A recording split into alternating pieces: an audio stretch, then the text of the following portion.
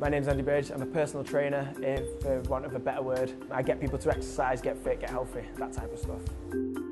Pomegranate basically tell me how much I need to pay on my tax every year. They also give me a general understanding of what's beneficial to my business to develop me and my company.